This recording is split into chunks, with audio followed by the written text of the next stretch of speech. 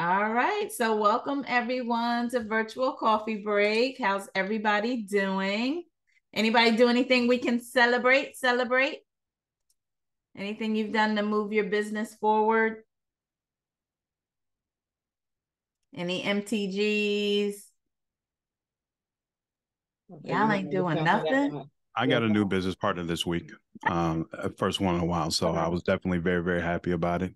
Um, he's um, very interested in uh, focusing on the travel industry mm-hmm. and has got some interesting ideas about how to um, market his business and move it forward. So I'm definitely looking forward to working with him. He said he's going to, he wants to take a couple of days to look through the websites um, and get some more information. So I'll probably look at trying to onboard him uh, sometime this weekend. I did already send him the link to your YouTube video, uh, walking through all the InteleTravel information.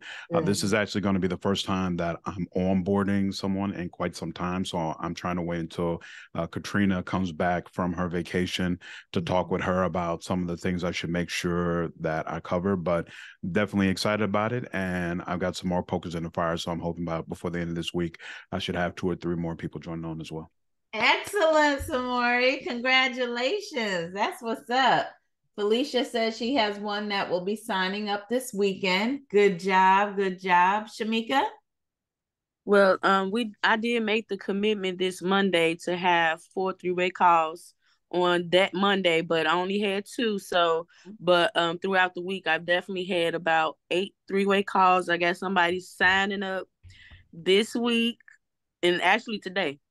Um, Excellent. so I've been doing good. I say I've been following up and been working and actually been um holding myself to this calendar. So um I'm congratulating myself on that. That's good. That's good. So are you finding that when you do the work, you see the results? Absolutely. And it really doesn't have anything to do with people signing up. um, it's really just doing PS3 and inviting, building rapport and things like that. So yeah, it's I haven't really been focusing on of course you want new business partners, but um really just actually being intentional and building rapport with people and knowing, you know, we having those real I can change your life conversations and not just travel. So it's it's been like I've been working on me a little bit more too. Mm-hmm. So it's definitely been showing in, you know, doing the work. Absolutely, absolutely. Michelle, that's good. Yeah, um, what we were talking about earlier, had a lot going on over the last couple weeks. Um, have had some high hanging fruit signing on, um, who have some large networks. So I've been really thrilled with all that. Um, love the conversation I had with family while I was out traveling. Um, just more getting you know, what they said that agreement that Don Bradley always talks about having that conversation with your family mm-hmm. and just how they can really assist Mm-hmm. Um, with you know building up the organization. You know, of course, you know, every once in a while they would talk about the travel piece of it, and I had to stay in the middle because I'm like, I can't, I don't care about travel right now.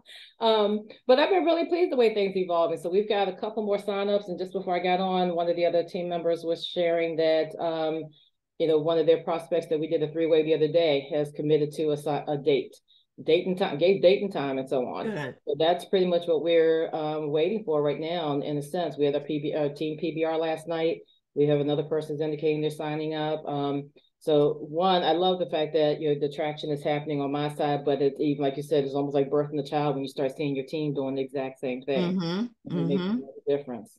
That's good. That's good. Uh, let me see. Felicia says she has one that will be signing up this weekend. That's awesome. Uh, Rochelle said went back and follow up and should have someone for a presentation today. That's good. Stephanie has someone signing up on Saturday. Excellent, excellent. Uh huh. That's good. And Stephanie's daughter had her first sign up. So we're excited about that as well. Excellent, excellent, excellent. And Sandra, you haven't you have a follow up? Okay, good, good, good, good, good, good. It, it, we just got to do the work. It's simple. Um, again, don't focus on the sign up. If if that's what you're um equating success with, you're missing the whole point. it's not about the sign up. It's about finding people who have a need and showing them that there's an opportunity to fix that need. That's what it comes down to. Um, because we don't, again, we don't know what's going on in people's households or their bank accounts. So we cannot control the sign up. So all we can really do is expose as many people as we can as fast as we can. And when the time is right for them, uh, that is when they will sign up. I had another conversation um, with someone, and I'm just going to kind of reiterate this. Some of you, I, we got some new people on. Um, so I'm going to kind of go over this again. And plus, we're going to um, be sharing this in a team group. But I had a one on one with someone um, yesterday, and, you know, they said they were struggling with getting people to the three way call. And so I said, okay, take me through your step by step.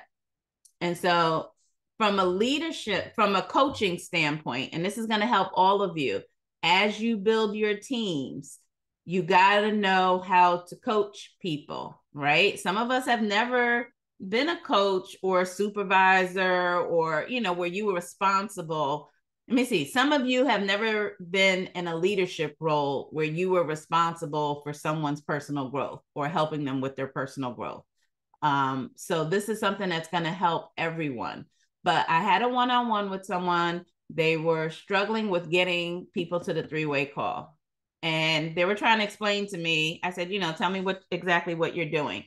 And they tried to just kind of give me an overview of what they were doing. I said, no, no, no, no, no. Because when people give you an overview, it doesn't give you enough information to make help them make the adjustment. I said, no, go to your messenger or whatever, find someone specific, and then take me through the conversation step by step by step. And I said, where you mess up, I'm gonna stop you because that's where we're gonna make the adjustment. So don't let people just kind of give you a summary of what they're doing because they're gonna leave out the key information, if that makes sense. Um, so she was telling me that, like, for instance, there was a, a young lady and she um she had been friends with her on Facebook and she reached out or the the young lady said she was interested. I can't remember what it was but she she reached out to the young lady and said um you know would you be open to taking a look at what i'm doing? I said eh, right there. Right there is the mistake. Reaching out to someone and asking them to take a look at what you're doing so then I had to have a, a conversation with her. And anybody want to share why why I stopped her right at that point? Anybody know why? Why is it not a good idea to prospect somebody by saying or piquing somebody by saying, uh, you know, are you open to taking a look at what I'm doing? Felicia says she made it about her. Thank you, Felicia. She made it about her. Remember, nobody cares what you're doing or why you started this business. Nobody. Maybe your mama. That's about the only person that cares that you started a new travel business. Nobody cares. And so we have, I need you to always keep on your business hat, your business hat, your marketing hat. And if we take the, and this is the conversation I had with the young lady, um, let's take the 80 20 rule, right? Would you all agree, and you can type in the chat, would you all agree with the statement that whenever there's a group of people that are doing well, there's a group of people that are not doing well? Would y'all agree with that? And so, right now, would you also agree that there are people that are really hurting and struggling right now? Struggling to keep up with their prescription drugs, struggling to keep gas in the car, struggling to keep food on the table. There's someone's son who wants to play sports in school, but mom can't and dad cannot afford the fees there's some parents right now who are stressed out because their child is graduating this month, next month, wants to go to college, didn't get a scholarship, and they're like, how are we going to make this happen? So at the end of the day, asking someone to take a look at what you're doing, why? Why should they? Right? So, with that being said, would you agree with the statement then using the 80 20 rule? 20% of the country is probably doing well, can afford to take the trips. They got the money to, to you know, they want to go on vacation, but they could do that. You know, travel's on their, it's on their radar.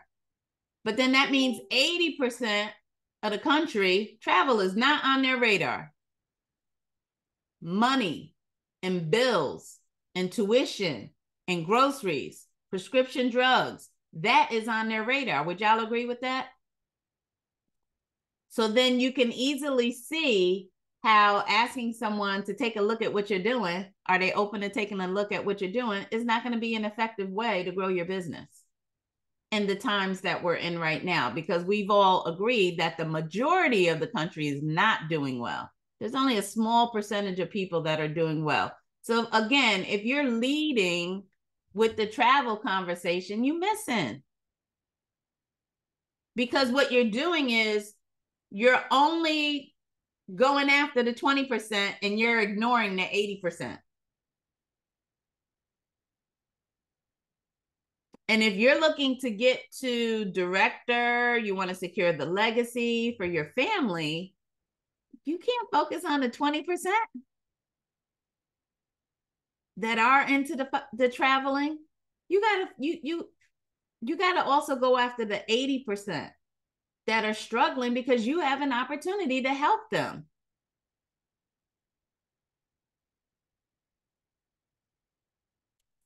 So the question is, why are we going after the 20% and totally ignoring the 80%?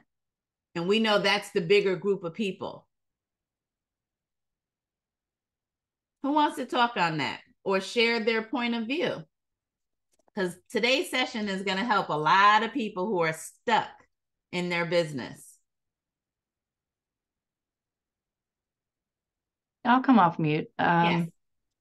I typed in the chat that it didn't click with me on how to help those who don't travel or how to help those. I guess because if they're not traveling, I was had a block in my mind that they couldn't afford to pay $200 and but I don't need to make that decision for them. I need to give them the opportunity to see if I can help them and let them make that decision. Right, right. But here's the thing. If someone loves to travel, they don't need us. You do not have to become an InteleTravel business owner to be able to travel more. Guess what? The people who are able to travel, they're on a trip right now. this is not that. Remember, why do you start a travel agency? To earn commission booking travel for other people. It's a business. You don't start a travel agency to be able to travel more. If if you want to travel more, you just go on a trip. You just book it and go. You don't need us for that. It's this is a business opportunity. Why do people start a business? To make a profit. Why? Because they like money.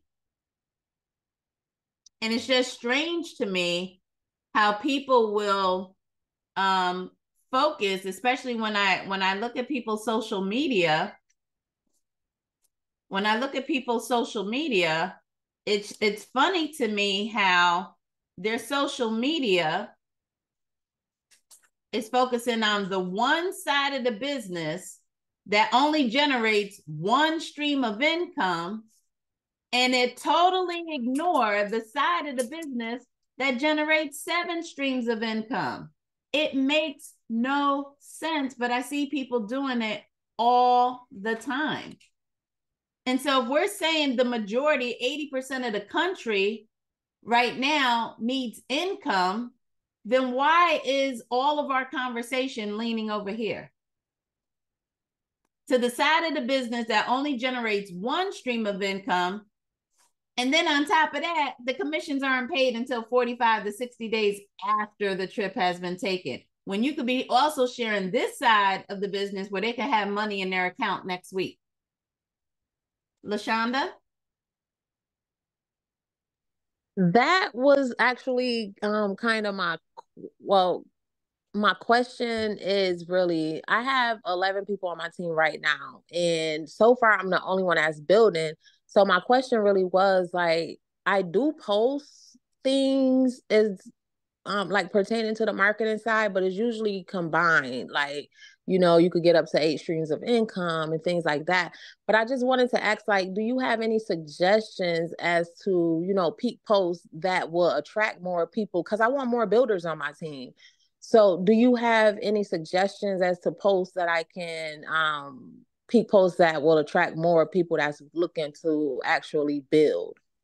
Yeah so let me ask you a question lashonda if you could create your ideal next business partner, what would you want that person to want so that they are building?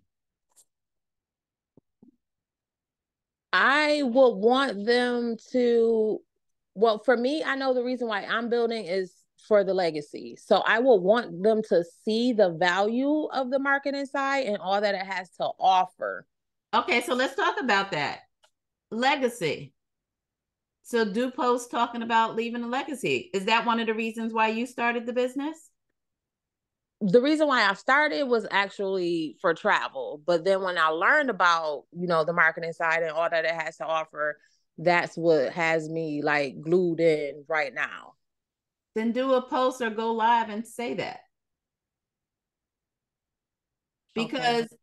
if you don't talk about how you started this business um or that the reason why you're staying in this business is because it's giving you the opportunity to be able to leave a legacy for your family and why that's important to you how are your facebook community going to even know that you have an opportunity to leave a legacy how are they supposed to know how can you attract them if they don't even know it exists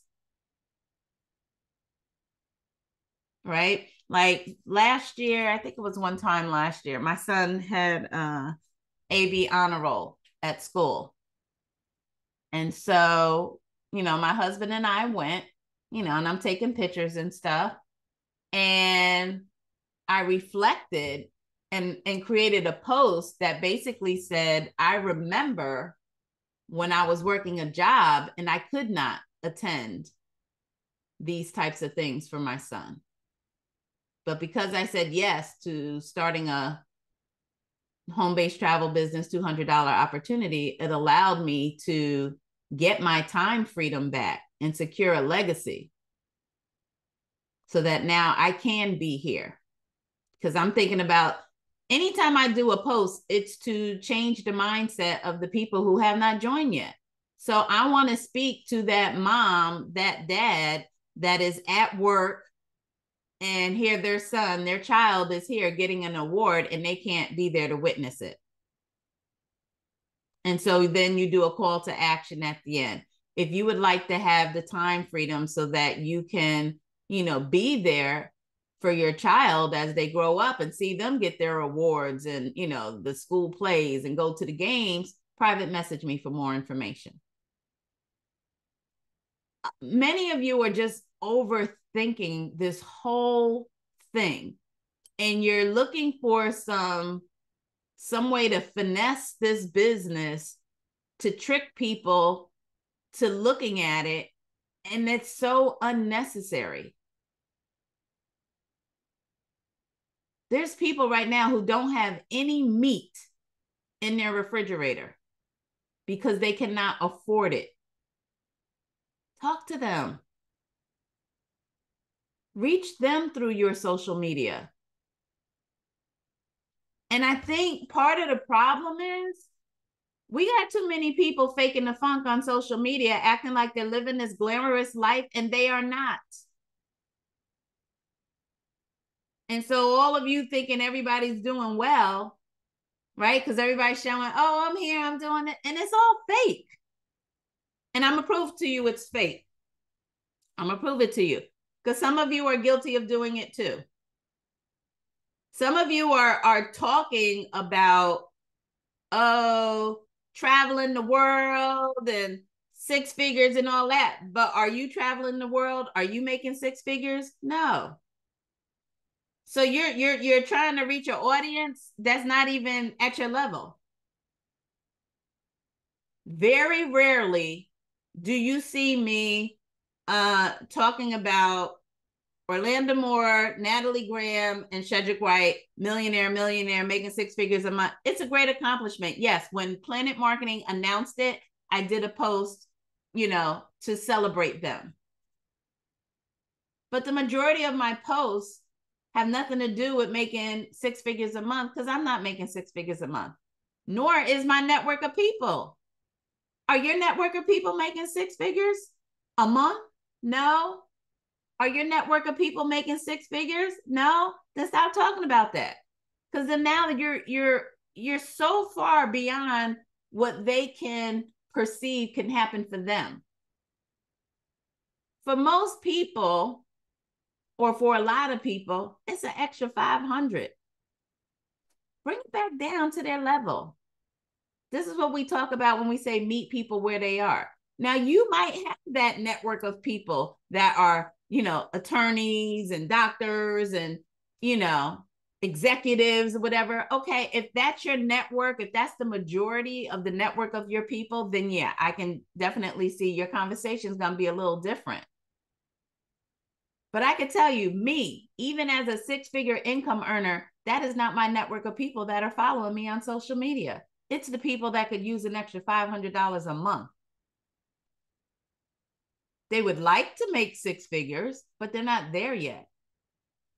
So, again, another great post go take a picture of the price of gas. Go to the gas station today, take a picture, and do a post about that and let people know you have an opportunity that can help them generate some income where it doesn't matter how much the price of gas is.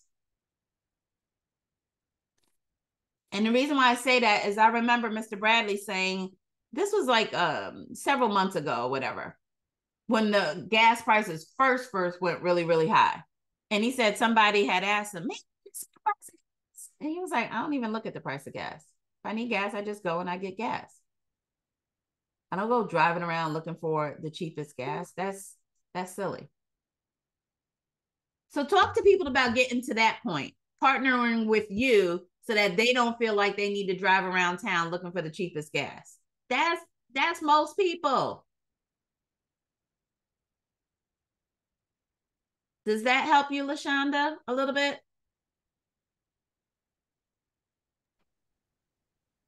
It definitely helped me. This is Kim Sykes. Yes. Hey, Kim.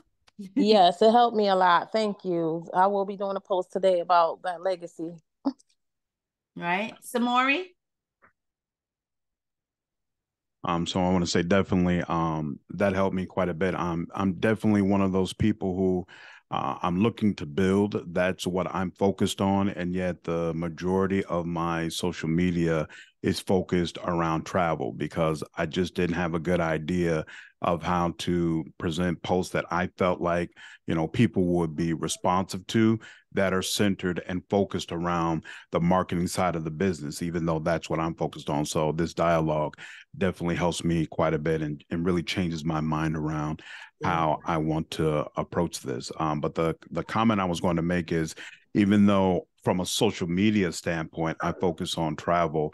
What I have found to be beneficial in the uh, past couple of weeks is in my local neighborhood, trying to become more ingratiated in the entrepreneurship uh, mm-hmm. community, trying to connect myself with more people who are looking specifically to earn money. Because as we all know, a lot of these other business ventures that they're doing requires quite a bit of capital. A lot of these people have dreams and aspirations of what they want to do, but they don't have enough money to do it. And mm-hmm. so I can present this opportunity as a way for them to do entrepreneurship, build up some capital that then they can flip into other dreams dreams and goals um, that they have. And I feel like that's been a very effective way to engage in the conversation. And I'm really hopeful um, about what the what these conversations will do to help grow my business. So just want to exactly. throw that out. Exactly. And Samori, that that's it right there. Entrepreneurs networking with people who have an entrepreneurial mindset because now you don't have to change their mindset because that that's the biggest struggle with getting people to join is the people who don't have that entrepreneurial mindset they got that that employee mindset and so we have to help them change that but if you go after the people who already have that mindset that's why i said go after the people who already have a side hustle they're doing you know they're do the the ladies that oh i started a lash business Okay, you doing lashes in your living room. I, good. But how much money are you really making doing that? They got the entrepreneurial mindset. I love that. But you ain't making no real money, not life changing income. You're making supplemental income, which is wonderful. So commend them on that. But we talking about life changing income. Okay, you you doing hair at home great. They got the mindset of I need to do something outside of a nine to five to bring some additional streams of income in. But you self-employed. What happens when you get arthritis and you can't do hair anymore? What happens when that uh, sciatica kicks in and you can't stand for eight hours to do hair? You don't eat. Talk to those people. So you got to find the people who got the right mindset because then you don't have to try to convince them. And let me be clear. And if you're taking notes, write this down. This is not a convincing business. Stop trying to convince people to see. This is not a begging business. Stop begging people to join the business. If you have to drag them to it, you will have to drag them through it. Who got that kind of time and energy? Nobody. and stop telling people that this will be really good for them. Ugh, that's the other one I hear a lot. And I get it. I get it. I get it. I get it. You've identified somebody that you know could benefit from this opportunity. But when you say this will be really good for you, it's patronizing. It's like you, they mama. You're not you have to get them to see that it's good for them just by showing them the information. They will come to that conclusion on their own. But when you tell people this will be really good for you, it's like, it's almost like you're telling them, you don't know what's good for you. So I'm going to show you what's good for you. It's insulting to people when you say that. That's why a lot of people are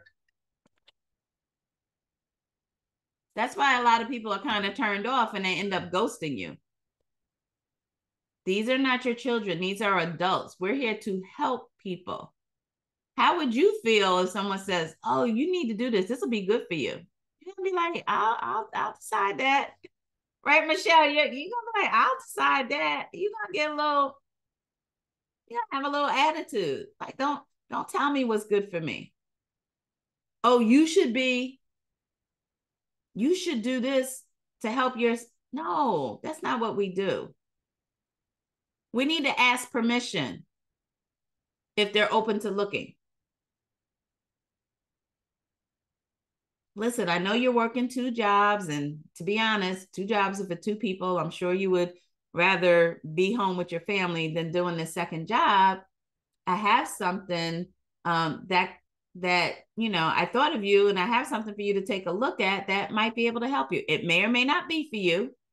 So for those of you who struggle with always saying you should do this, I'll add into your conversation. It may or may not be for you. That'll fix that whole thing. Just say, listen, it may or may not be for you. But if you'd like, I can, you know, if you're open to it, I'll send you some information. You could look at it and decide for yourself. It has to be their idea, or else they're going to come in and do nothing. Even if you do an amazing job at convincing them. I'm a great convincer. I could get an Eskimo to buy ice from me. I can. because I can I can say things that will make you feel stupid for not saying yes. But do I really want that? So then you sign up and then you cancel within 30 days because you got buyer's remorse. And then you don't even tell me you canceling because you're afraid I might convince you not to cancel because I already convinced you to join.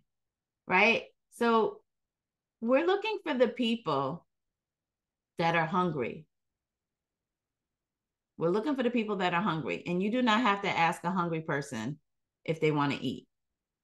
They're just like, show me where the food is. I'm going to go get it. That's who you're looking for. It's the four aces out of the deck of the 52 cards. You're not looking for the 52. You just want the four aces that are in the deck of the 52 cards.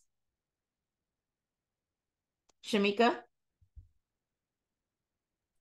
Ooh, this is good. Uh, I did want to go back to um where you were talking about the gas prices. Mm-hmm. Um, it actually reminded me of an ET video that we was watching, and he was like, he was talking about the gas prices. Somebody asked him like, "Man, you seen the you seen the prices of gas?" He said, "No, I don't. I don't look at the prices. I just go fill up.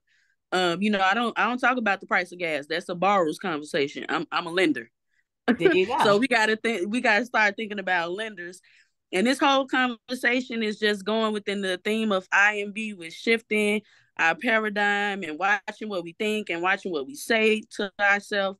And so this is just all confirmation. Uh, and a lot of these things I've I've noticed in myself within this time and weeks and plugging in and actually doing the things and reading.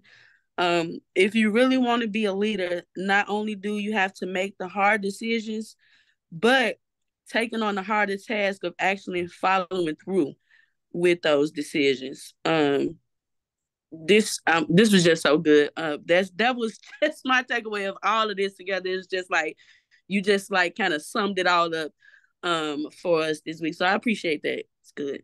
That's good. That's good. Uh divorce. You said Mr. Bradley said it on Tuesday?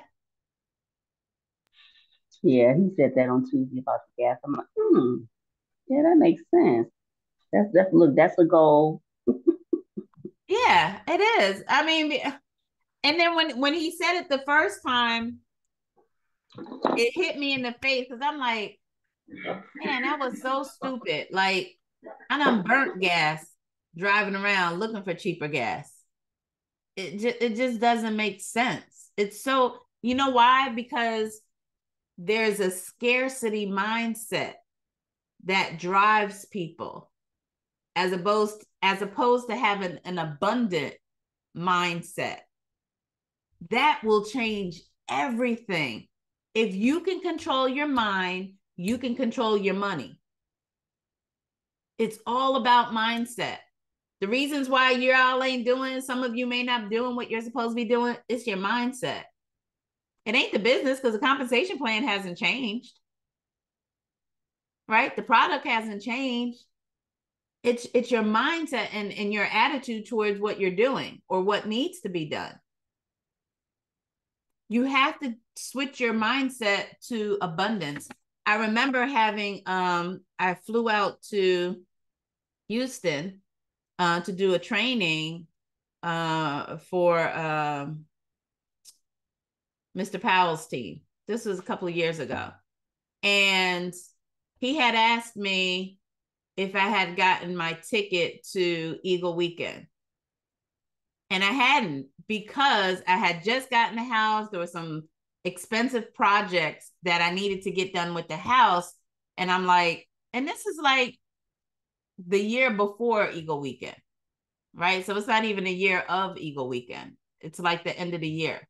Eagle Weekend's the next year. And I'm like, oh, I got this project that I'm doing with the house, whatever. And he said to me, You don't know where you're going to be next year this time. You're operating on your present instead of operating on your future. And it like hit me like he's absolutely right. I could be making $10,000 more by the time Eagle Weekend comes in, and the money ain't even going to be an issue.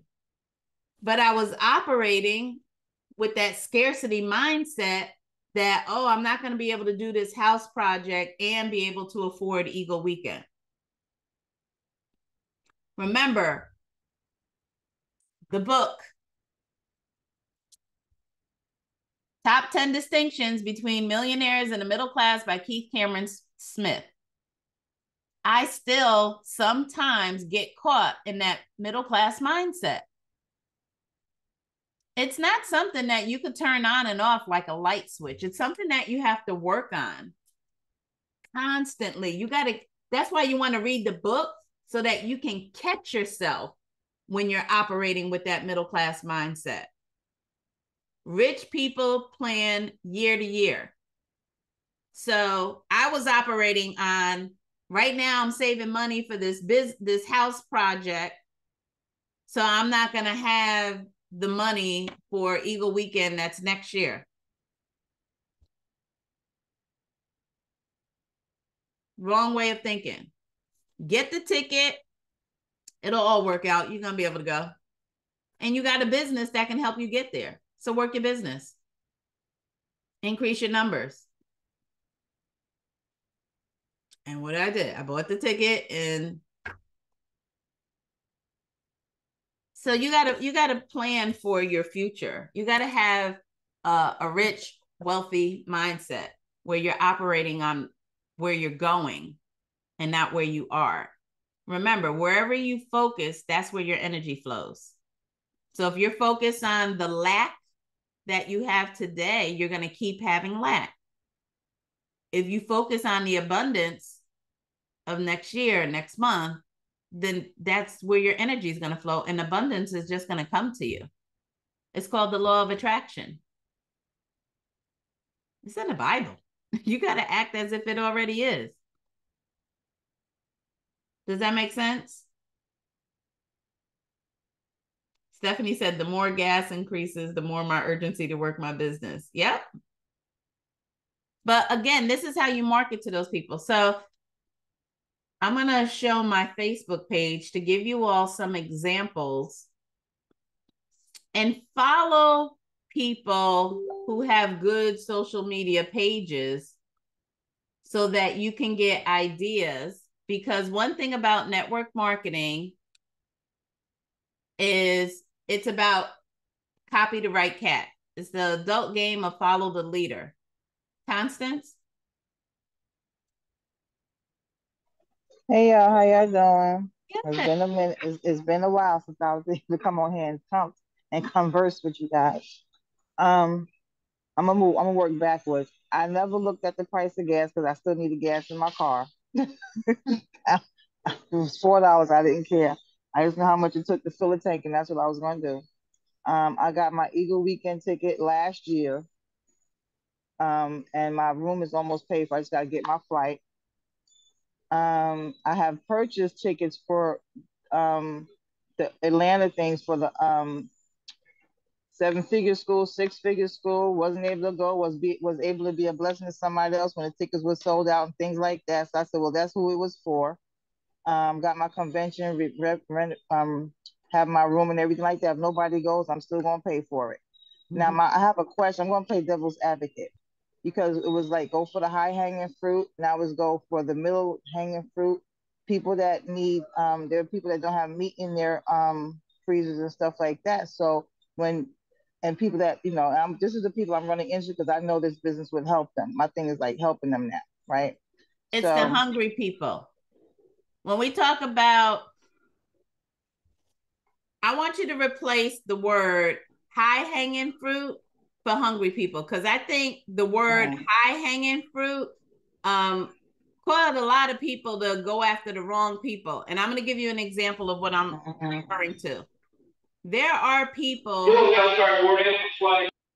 There are people who, when you think high hanging fruit, you think of people who have like a ton of influence. Um, people, you know, maybe they're a celebrity or or maybe they're um you know they're making six figures or whatever. You're like yeah i'm going after those people because those people don't have $200 problems. Here's the problem with the celebrities. They're not hungry. I don't go for celebrities. I don't know now But what I'm saying, people who have a lot of influence, sometimes they're not hungry. So I say go for the hungry people because the person who doesn't have meat in their fridge, they may be hungrier than the person that we consider a high hanging fruit person. Uh-huh. So You when, know but I mean? So you might be Yeah. thinking like, oh, I know, you know, my my cousin is an attorney. That's high hanging fruit. Let me go for them. And if I your cousin is of people- doing, if your cousin is doing very, very well in their practice or whatever, you know, they're at the top of their game, they ain't gonna be hun- they may not be hungry enough to do what they need to do in this business. But the person who Mhm. got four kids struggling to keep meat in their refrigerator, they hungry. Okay, now I'm my high hanger is like people that you know that are that have nice jobs and stuff like that. I'm not talking about high, like doctors and attorneys and stuff. I'm just talking about you know like middle class people. But anyway, but there's people that like you saying that they have four kids and they're hungry. Their mindset, most of their mindset is like, well, if I spend this two hundred dollars, Not all of them. That's not all of them. And and and the proof of the pudding, listen to the testimonies on the team Zoom on Tuesday nights. Listen to the, the to the testimonies of the things that they went through, the struggles that they went through, but they pushed. mhm, It's the hungry people. They got to be hungry. You know, if if you were born into poverty, it's not your fault. But if you die in poverty, that was a choice. And there are some people they want something better, but they don't know where to go because their circle of people are just as broke as them. Remember, birds of a feather flock together. If you hang around four broke Mhm. people, what they say, you number five, right? But if you Mhm. hang around four successful people, you're going to become successful because you're going to learn from that group of people. So that person who's struggling to keep meat in their house, they just need to be exposed to some people who are doing better than them that can show them that there's a better way. Again, don't make decisions to I think people are missing out on some MTGs because they're prejudging people. They're making decisions before even having a conversation with that person to find out are they hungry? That's why piquing is asking a question. Are you open to additional streams of income? If I could show you how to solve this problem, is that something you'd be open to taking a look at? It's asking a question. Because when you ask that question, you basically say, Are you hungry enough to change your situation? Yes or no? And to go to Lorraine's question, Lorraine asked, how do you go about piquing people who are already in MLM like Mary Kay, or how do you pique by finding the need and need friends? You've requested adding, say, 20 new friends a day. I love going after people who are already in another network marketing company because number one, it's showing me they have the right mindset, or else they wouldn't be in network marketing to begin with. So we don't have to convince, they're not the ones that can say, oh, you in a pyramid? No, I'm in one too, right? Y'all doing the same thing, right? So we like those people. But just because you're in network marketing doesn't mean that that business is meeting your financial needs. So, for example, Lorraine, there are people who join Mary Kay because they love the product and they just want to be able to get the product discount. But that don't mean they're making money in Mary Kay. Right? Okay, I'm gonna come. You're breaking up. Um, so You're breaking Can up. you hear We can't hear you. No, you're breaking up really bad. hold on one second. Sorry, it's my It's house. always when Can they say hear- hold on, that part comes in clear, right? Can you hear me now? yes.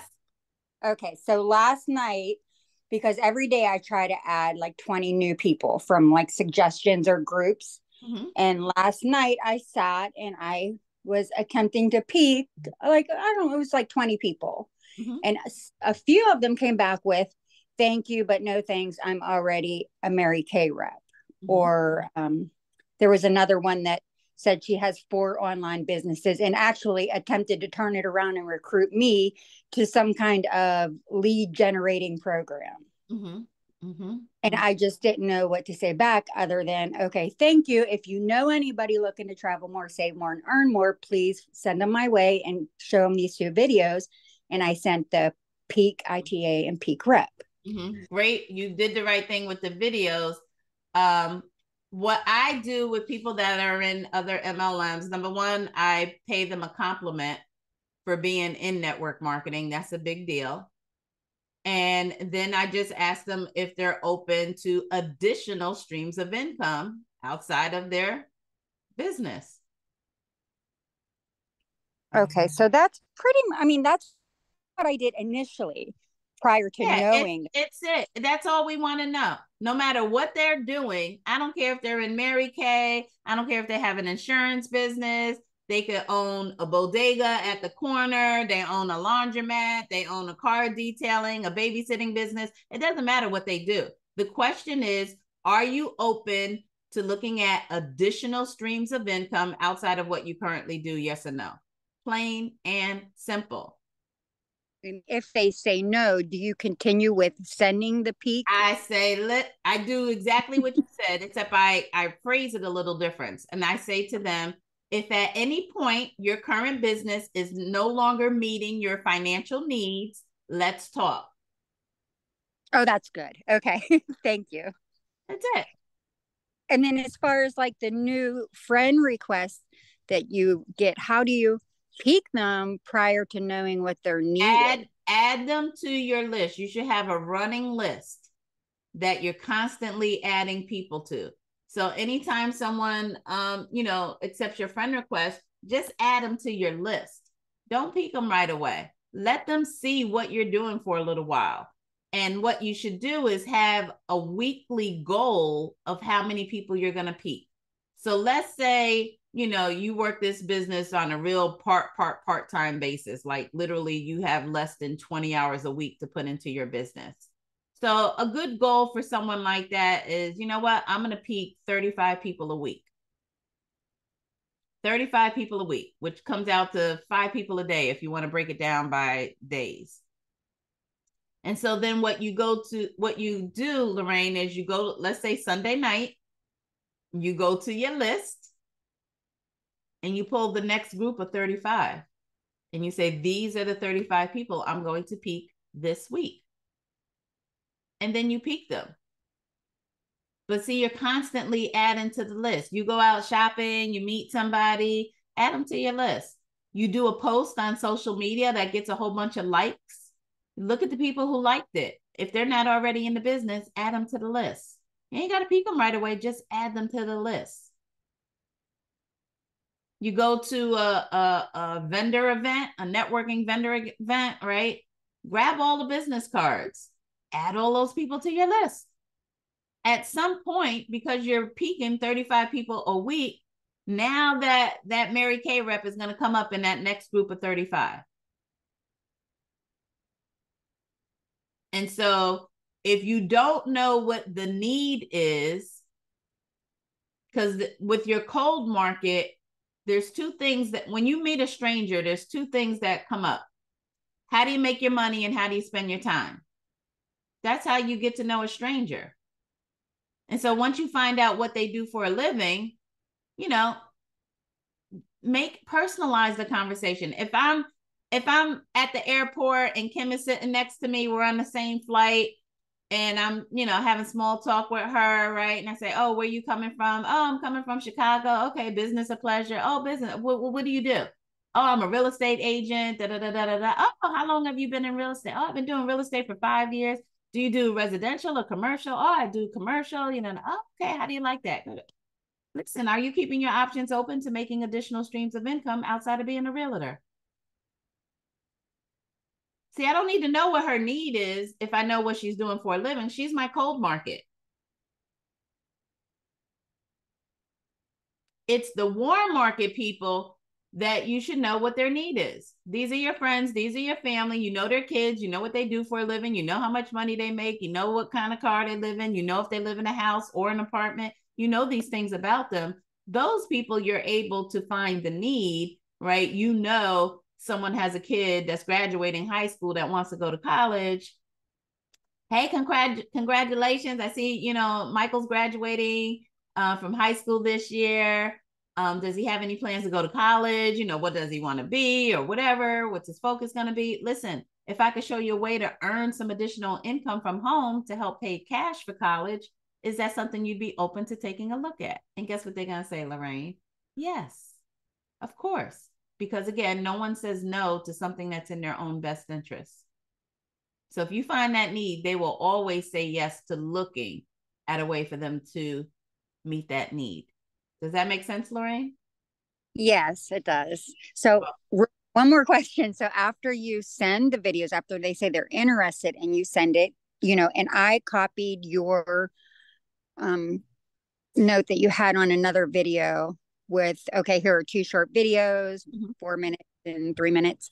Um, after looking at it, let me know if you have, if this is something you're interested in. Do you follow back or do you just always follow up within 24 hours? whether they follow okay. up with you or not. Some people are going to watch the video and follow up with you right away. We love those people. But if they don't, you make sure you have on your calendar to follow up with them within 24 hours. And just and don't ask them if they watched the video. Just say after having watched the videos, is this something you're interested in learning more about? If they say yes, you say great. When are you available for a call? We could discuss, get your questions answered.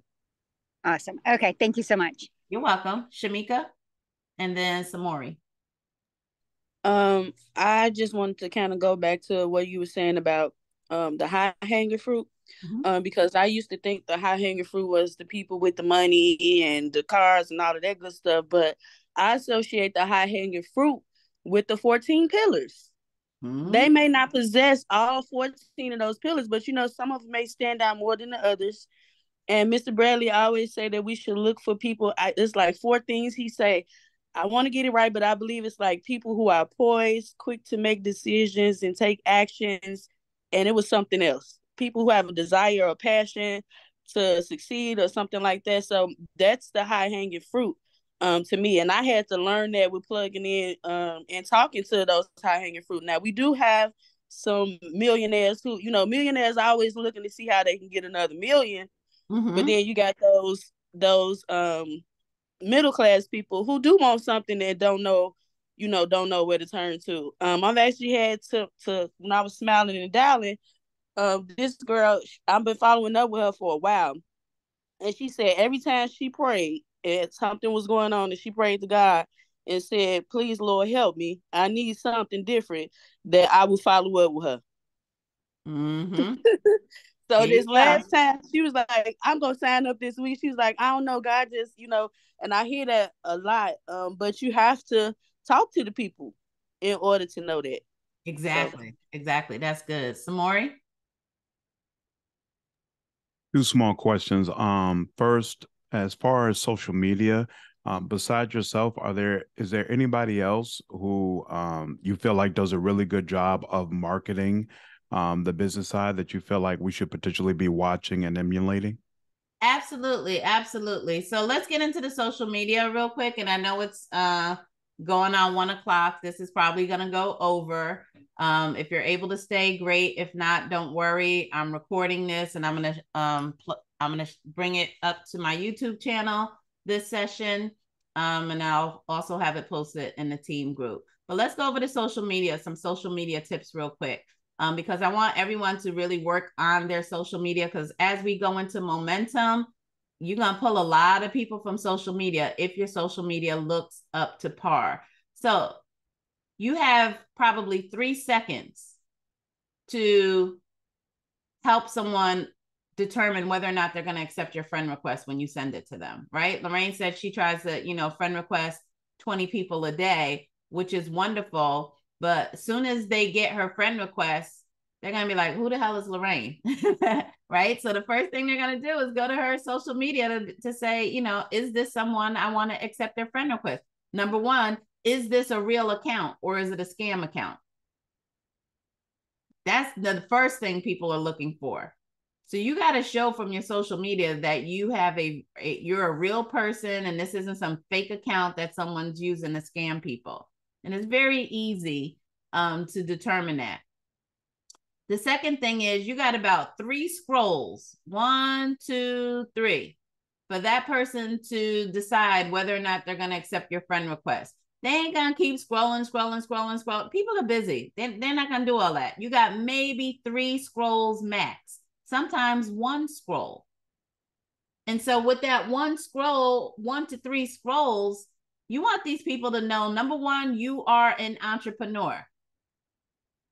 Plain and simple. You're an entrepreneur, you have a business opportunity, and that you're looking for business partners. Too many times I go to people's Facebook page and they're and it's the it's always the people who are saying, you know, I want to hit director um or you know, my team, all they want to do is book travel. Nobody wants to build. And I go and I see their cover page, and what is it? Palm trees and beaches. It's travel. So when your new friend that you sent a friend request come to your page, first thing they're gonna say, oh, this person is a travel agent. But yet you want a builder. You want somebody who wants time freedom, personal freedom, and financial freedom. Well, you're not gonna get it you're going to attract the people who want to travel, not necessarily the people who want to build. You got to have balance. Right? So that's why I have this. Do I change this? Yep. When they when they roll out that $91,000 banner, 91,000 people, agents, I'm going to switch this to that for like a day or two, but then I go right back to this.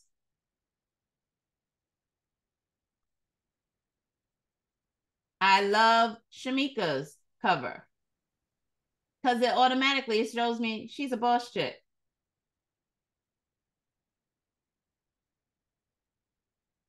So, quick question: You uh, mentioned putting up the banner, and I've been told before um, that you want to avoid um, putting things up on your social media that actually have PlanNet Marketing on them because then people will just go to the PlanNet Marketing website or end up being connected to them in a different way as opposed to coming through you. Do you disagree with that? I disagree with that. That was appropriate in the beginning, mm-hmm. right? I joined PlanNet Marketing when they first first launched, right? They weren't even a year old. So nobody knew what PlanNet Marketing was. We ain't had no type of real documentation, real, you know, they're just we were just starting off. And so, yes, I would never ever post PlanNet Marketing or InteleTravel um, because I wanted people to reach out to me to find out what it was that I was talking about. So I was just saying, hey, I got an opportunity. You can earn extra income, you know, in the travel industry, blah, blah, blah, blah. Private message me for more information. Or back then, I didn't know any better. I was telling people post dollar sign in the comments or something like that. Um, we don't do that anymore. We tell people to private message us because sharks like me will go and reach out to those people because I know that you're not following up with them fast enough, right? That's what sharks do. Um, but now, Samori, we seven years in. We documented. We got three millionaires. We got over 86 figure income earners. We booked $1.63 billion in travel right? PlanNet Marketing has paid out over $178 million in commissions. So there are people who, over the last seven years, have been piqued. But guess what? The person didn't follow up with them. And they weren't ready. Now they're ready.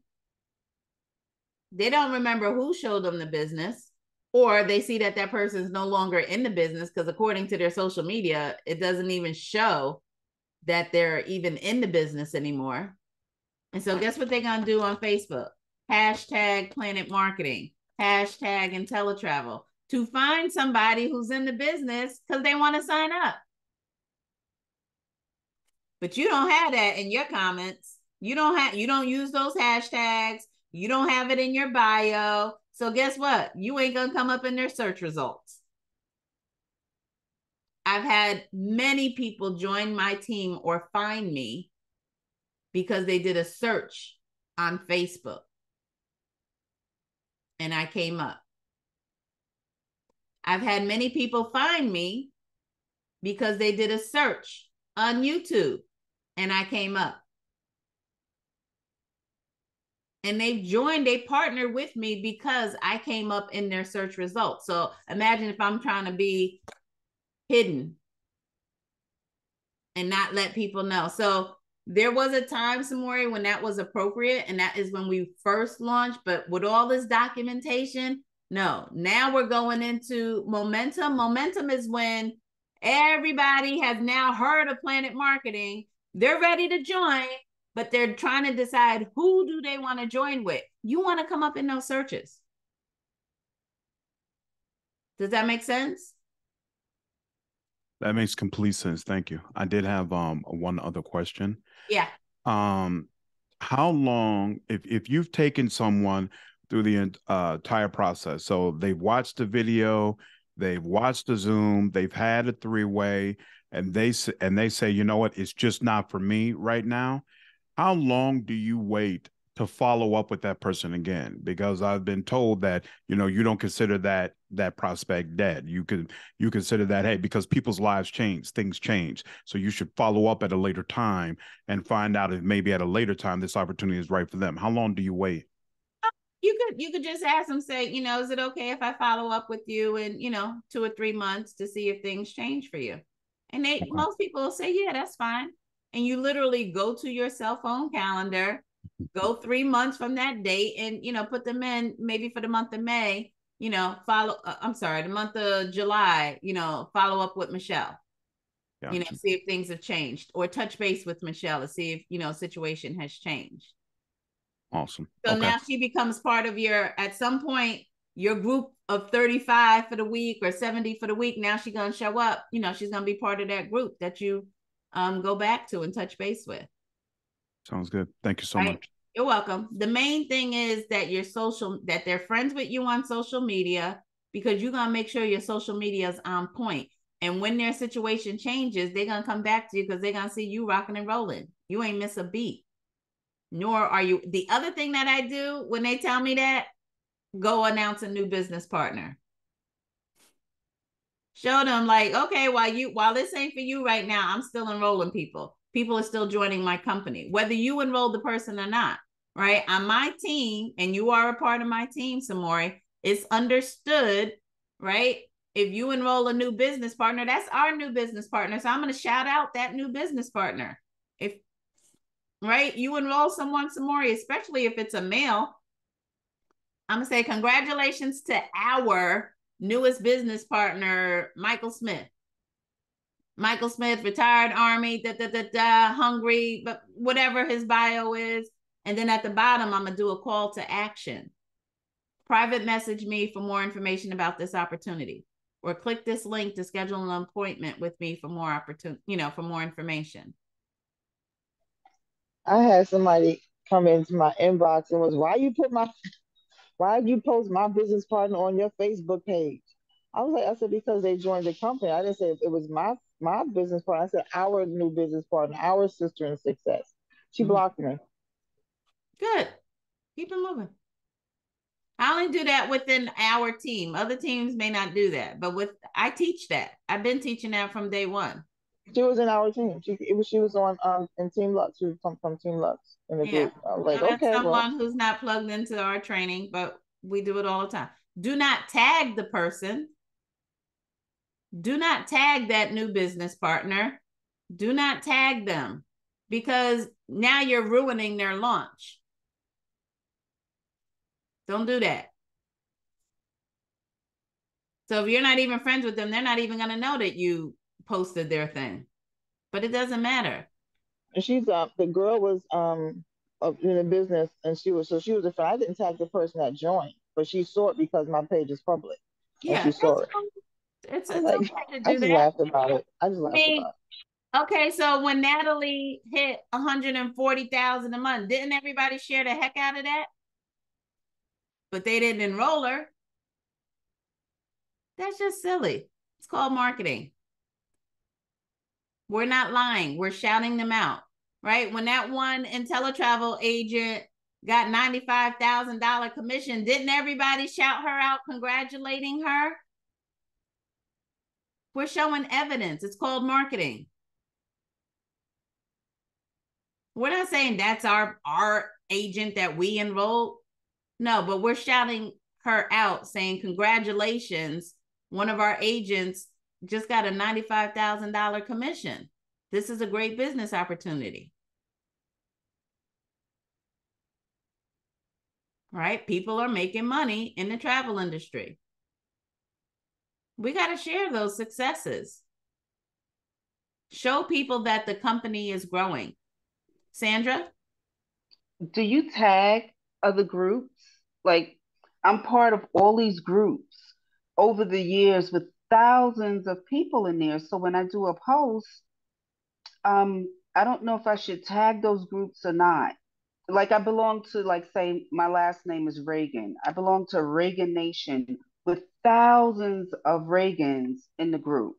I don't know them all personally, but I want to reach them. Is that spamming them?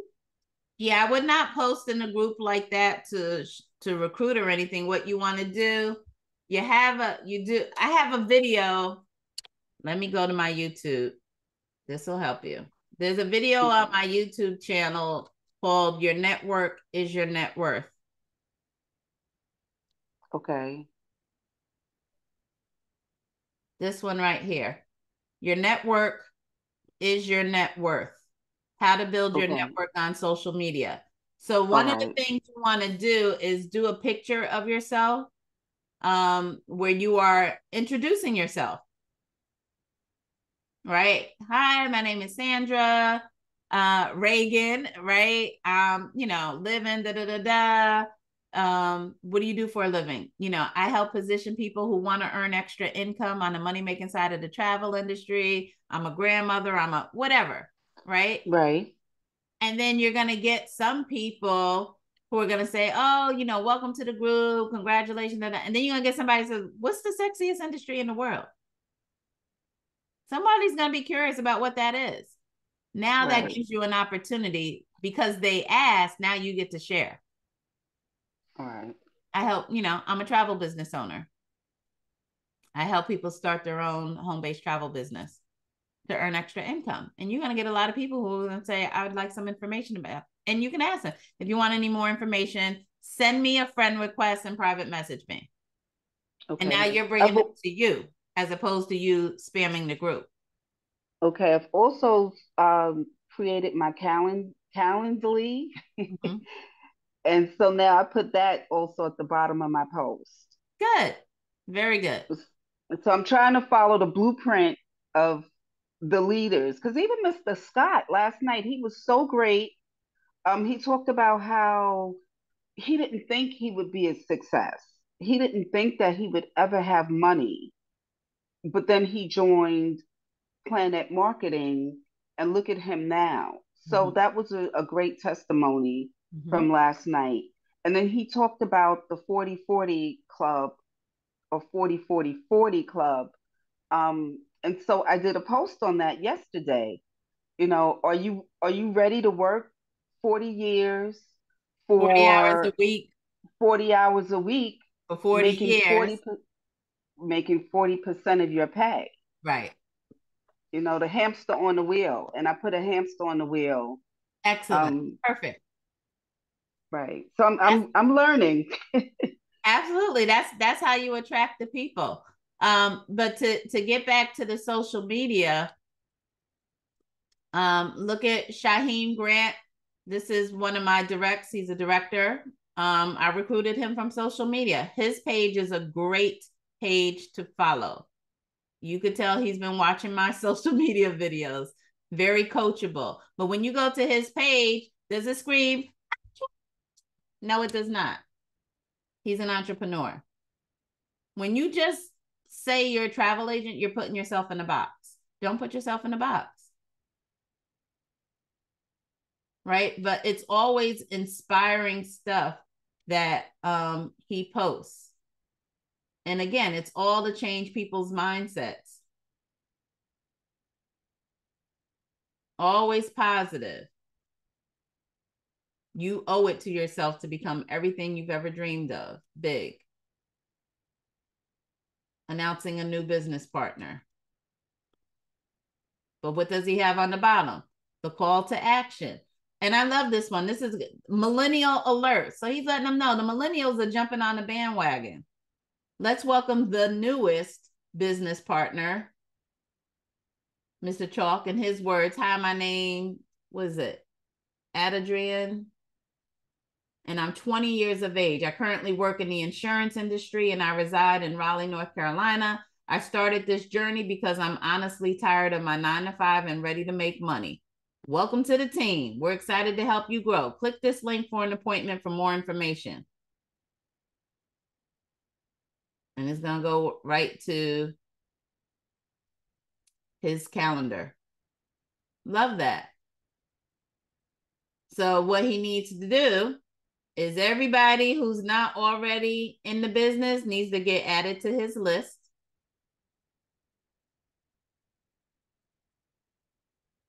All right. I love to travel, so I made it my business. When you have meme, when you find memes that have good messages, create a me- your own meme with your picture. Brand you, not the person who created the meme saying this. Brand yourself. Right. And then mix in some personal stuff, right? Family. But he's his sons, they're starting a juicing business because he got this brand new juicer and his sons are into it. So now they're starting a, a business. But he's talking about entrepreneurship with your children. You know how many people would love to be able to do that? Or never even thought about starting a business with their kids?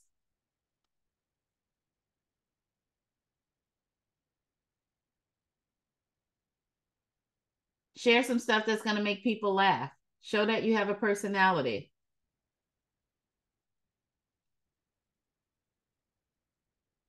Love this message. Again, this would have been a great one for him to create his own meme with his image. But he does some of those things.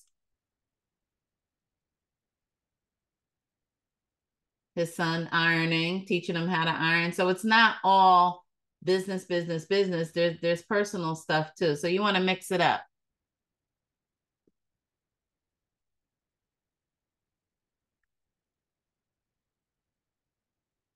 But just go to um you want to look at the to answer your question, Samori, look at some of the directors' pages. Not all of them are doing it right, but in general, you're looking for a balance. Uh, Michelle Proctor's page, excellent Facebook page. Guess where she learned it from? Let's go to Michelle's page. We're gonna you. put it up. And Samori left. Oh, he left. All right. Well, he'll see the replay. Right. Yeah. Beautiful. Showing she's she's an entrepreneur. It don't scream, I'm a traveler. Book a cruise with me. No, no. Because now again, you would only be talking to the 20% and not the 80%. Don't ignore the 80%. Still talk to the 20%, but make your louder message to the 80%. Right? Are you looking to earn some extra income? Boom. Online calendar link. Make it easy for people to reach out to you. Right? But then now she's also working the travel side of the business, right? Having, you know, meeting, the food, is it good? What, what's going on? Show the time freedom. Show you out with people. This is the lifestyle of being a travel business owner. Not that you're booking travel, but that you you want to send a message that because you are a travel business owner, you're bringing in multiple streams of income that allows you to live this ideal lifestyle, to design your ideal life. That is the message that your social media should be sending. You're a travel business owner, and because of that, you're able to bring in multiple streams of income that allow you to design your ideal life, whatever that is for you. Showing fa- time with your family, being able to travel, being able to go to new places, right? Paying off debt. If you're making enough money to pay your cell phone bill, talk about that. That's way better than saying, you want to make money? Yeah, I just did a post. I did, went live. I think it was yesterday, and I was always going live doing my hedges and how crazy my porch was looking because I needed to get I needed to get fixed.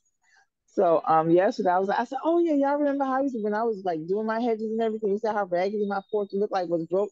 And I told y'all I was going to have my business help me get it fixed. Look at y'all, look, I got it fixed. This is what my business helped me do. It looks real pretty Perfect. too. Perfect. Good Like, job. all nice and everything. Hmm Good job. Shamika? Wait. Um, I kind of want to go back because we missed the comment that Lorna had um when you talked about someone saying um come in, you know, check out what I'm doing and support me. Lorna said, um, Director Burke, I feel as though my family and the people who call me friends should be okay with taking a look at what I do just because we are friends, family. We should support each other. Lord knows I support their every dream and events. Yeah, they should, but mm-hmm. people have life happening to them. And that's Skylar. Let me let her out. y'all. Maybe she gotta go out. They should, but the truth is they may not. So give them more of a reason. Listen, think about this. Do you really want someone who looks at the business just as a favor to you? Or do you want someone to look at the business because they have a, a strong desire to change their situation? I feel as though Director Burke, if they look at the business and know what I'm doing, they can send people to me. Then say that. Because I, then you need to Okay. say specifically um listen i'm building my business and the way it may or may not be for you but i want you to take a look at it so that you can refer people to me. I'm just saying don't do the the the bait and switch. That's where people messing up. They're doing the bait and switch. Like oh i want you to you know support me and come take a look at what i'm doing but you're really trying to uh trick them into looking at it and saying now see how this will work for you? If you're looking for referrals from your friends and family then say that. Okay. say what you want. And i think that's probably why i, I keep saying people are overthinking things because y'all looking for a way to finesse your words instead of just being direct and saying what it is you want you want or what you're looking for. There's no finessing that lorna what i just shared with you is how i approached my friends and family in the beginning because Mhm. I, I didn't know about how to find their need and Yes. picking them with that i didn't know Yes. so I was messaging my my cousins and stuff saying, "Hey, not sure if you are aware, but I started a new um travel business. I'm super excited about it. I'm expanding in the Chicago market. Who do you know that would be open to looking at ways to earn additional streams of income?" That's how I went after my family and friends in the beginning. And some of them were like, I don't know anybody, but if I do, I'll refer them to you. And I said, no problem. Listen, send these two 40 second videos to them if you know of anybody that's looking and referring to me. Um, and if you're planning a trip, let me book it. That's how I went after my friends and family. But again, I'm very specific. I'm saying I want referrals. Okay. I automatically assumed they weren't going to be interested. Mm-hmm. I said, I'm expanding in your city, your state. Who do you know that would be interested in some additional streams of income? And guess what? Some of them were like, Well, I'm interested. I sent them the information. They didn't join. It's okay. Mm-hmm.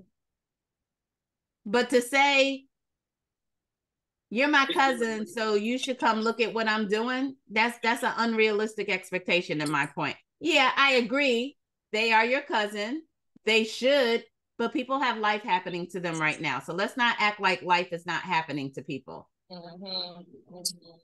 I don't want anybody taking a look at my business just because they're my friend or my family. I want them to take a look at my business because they feel that it may meet a need that they have. That's just me personal. Because we don't have a lot of time, y'all. There, I have this one business partner. They don't do this anymore. It's gotten a lot better. And they are the sweetest person ever, the kindest, most gentle, humble human being you ever want to meet. Would give you the shirt off their back. And they kept getting me on these three way calls with people that weren't interested in the business. And these people told me they are not interested. They just got on because this person asked them. Because they didn't want to tell the person no, because this person is so nice, so sweet. So when the person says, Hey, I want you to come take a look at what I'm doing, they were getting on because they didn't want to tell the person no. But I'm like, so I had to tell them, like, stop getting me on the phone with people that are not interested in the business. I'm not here to convince them. If they are not seriously considering considering this business opportunity as something that's going to help them, then don't waste my time or your time or their time. This person just said they only got on because you asked them to. So what? Okay, you could check off the box. You had a three-way call today. Is that what we doing? No, that's not what we should be doing.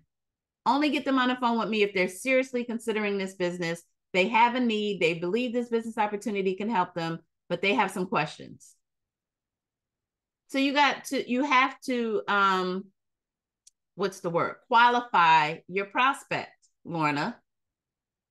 You got to qualify your prospect. You're looking again for the hungry people who have a need and they believe that this business opportunity can meet their need. So all those cold market people, you got to build rapport with them so that you can find out what their need are, what their needs are, or find out what they do for a living and ask them if they're open to additional streams of income outside of that. Plain and simple. But this is not do me a favor, please, and look at my business. No, that makes you look desperate and weak and nobody wants to partner with someone who they feel is weak. Because basically, what you're saying, Lorna, is I have a business opportunity that's not that great, but I want you to take a look at it because you know me. What? We got the baddest opportunity on the planet. And if our opportunity is so strong, why is our posture so weak? you better walk like you found the cure to cancer and you can cure everybody. Listen, you working two jobs? I got something that can fix that. You got kids going to school? I got something that can fix that. You still paying rent? I got something to fix that if you want to buy a house. You you taking public transportation? You need a new vehicle? I got something that can help you get that. Help find people to help and stop trying to find people to sell a travel agency to. Just that switch in your mindset will change what you're saying. Find people to help, not people who you want to sell a travel agency to. And that's the game changer. Any other questions before I let y'all go? Yeah, we went 27 minutes over. Any final question? Biggest takeaway. I want to get three people come off mute and tell me what your biggest takeaway from today's session was. Or you could type it in the chat. I love, I love the example you gave of not only your social media, but also of other um, partners' pages, because that visual was able to help me see and also hashtagging PlanNet Marketing, hashtagging business opportunity, mm-hmm. um, pulling people into your page, into your world. I'm not doing that. And so I need to go back now and hashtag some things on the posts I've made. Yes. Anytime you're you're doing a business post, hashtag PlanNet Marketing. If you're doing a post about your travel agency, hashtag InteleTravel. Um, if you're talking about that you have a business opportunity, hashtag entrepreneurship, hashtag residual income, hashtag 1099, right? We get a 1099, hashtag time freedom, hashtag personal freedom, hashtag financial freedom, hashtag legacy, hashtag generational wealth, hashtag leveraged income. Those are the hashtags um, that you could be using. Hashtag um, work from home business. Hashtag legitimate business. Those are ha- all hashtags that you can use. Anybody else take away? That's gonna operate in your operate in your future, not in your present. There you go. Operate in your future, not in your present. Good one. Anybody else?